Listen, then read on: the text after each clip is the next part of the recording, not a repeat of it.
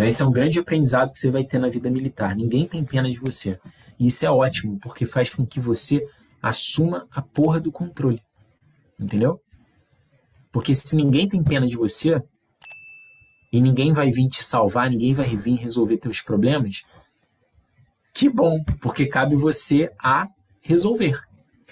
É verdade, não é?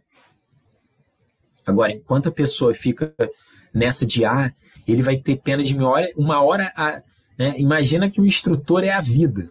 A vida é real. Ah, não, uma hora ela vai ter pena de mim, ela vai parar de me bater, ela vai parar de jogar pra minha bunda, vai mandar eu parar. Ela vai ter pena.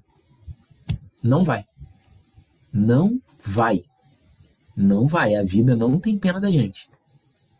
Tá?